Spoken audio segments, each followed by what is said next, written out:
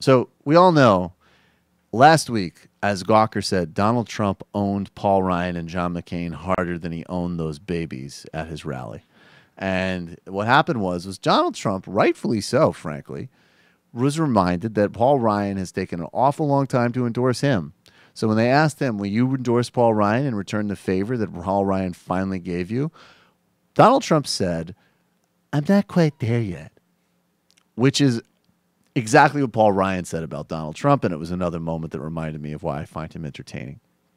But now, clearly, in this past week, I've never seen Donald Trump look this sad and defeated. I mean, clearly, he stopped insulting the Khan family. He looks like he's on some type of like sedative, and now he's going to come out and he's going to endorse Paul Ryan and John McCain and Kelly Ayotte. Let me tell you something. To be compassionate to this guy here, if I was in a position where I was forced to give a press conference where I said that I endorsed Paul Ryan, John McCain, and Kelly Ayotte, I might sound this sad and low energy myself. I support and endorse eh. our Speaker of the Sincerity. House, Paul Ryan.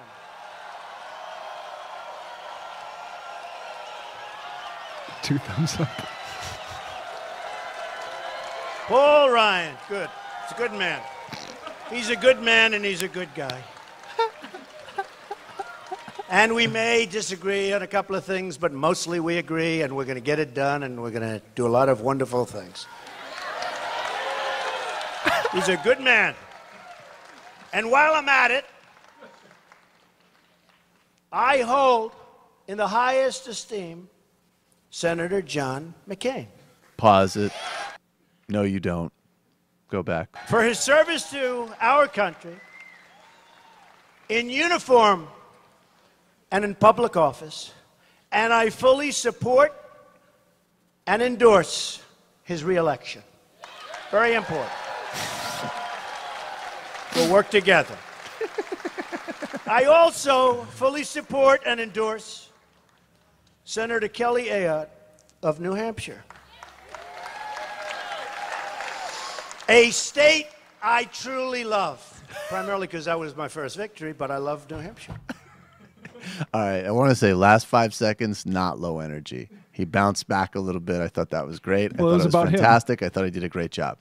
Number two, I like how he did it. Like it's like he did it like a little kid being like, I'll just eat all of the spinach at once. Okay. Fine. Paul Ryan, what's next? This is the worst food ever. I hate you, Paul Manafort. Number three, what kind of date night did he have with Ivanka in order to give those endorsements? It must have been fantastic. He is reading directly off of paper. It's ridiculous. He's only doing a teleprompter. He disses I know. Obama What- for a teleprompter. He's like, hey, someone printed out. He was using teleprompters, and I mean, I'm not. geez, I'll enjoy endorse, ridiculous. but I am not using a teleprompter. I bet you. I bet you that was on like official RNC stationery. also, Kelly Ayotte, who is a nice lady.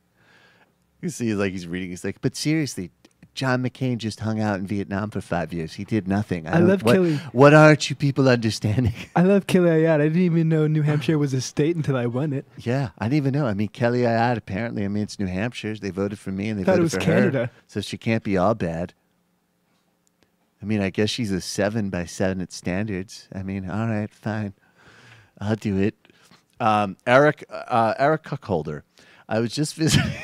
I just. I was just visiting Western PA and I saw one Hillary yard sign for every six Trump yard signs. But best of all, though, was the Trump sign with the T and the P darkened out. That's great. Doug, Iran executes scientists who gave U.S. nuclear information on August 8th, 2000. Hello, you. I'm Sam Seder. Looking for smart progressive talk that is occasionally amusing?